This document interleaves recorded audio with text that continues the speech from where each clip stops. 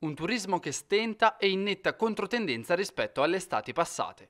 Fabrizio Oliva, presidente di Federalberghi, fotografa in questo modo la Pesaro turistica versione estiva 2023. Alle parole del prossimo candidato alle amministrative, che ha rimarcato il calo di affluenze del 30% per giugno e del 20% per il mese di luglio, in occasione dell'inaugurazione della rotatoria sulle Siligate, è seguito l'intervento del sindaco Ricci, che pare avere una prospettiva completamente differente.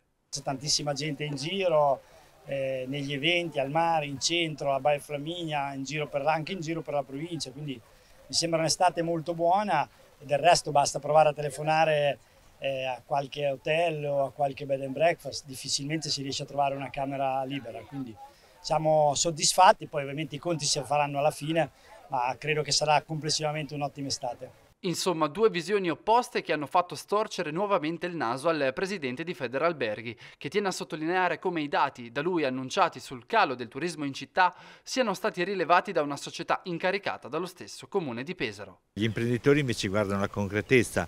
Effettivamente, voglio dire, c'è stato un calo di presenza nella nostra città, ma non solo, c'è una ricaduta anche su tutte le attività collaterali, quindi gelaterie, ristoranti e tutte le, le, le cose che si riconducono al turismo. La causa è sicuramente e la crisi economica, perché effettivamente bisogna parlare di crisi economica. Oggi una famiglia mediamente se ha un mutuo si trova a pagare con un piccolo mutuo 400-500 euro in più, quindi si trova a preventivare una spesa di 5-6 mila euro in più nell'anno. Prudenzialmente, in attesa che i tempi migliorano, molto probabilmente quel target di famiglie medie che veniva da noi in vacanza rinuncia alla vacanza. Previsioni invece per il mese di agosto? Ma guardi, per il primo anno siamo al 2 di agosto, molti alberghi avevano il tutto esaurito, così non è.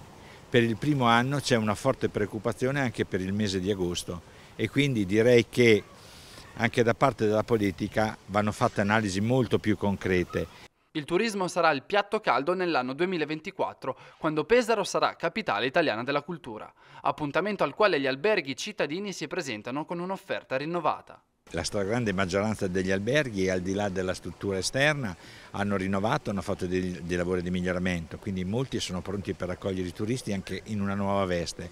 Altri faranno altri investimenti nel corso dell'inverno per poter fare una bella stagione con le strutture anche a posto l'accoglienza, voglio dire, noi albergatori anche come associazione siamo a piena disposizione per poter fare iniziative assieme al Comune per far sì che il 2024 sia l'anno della svolta per il turismo.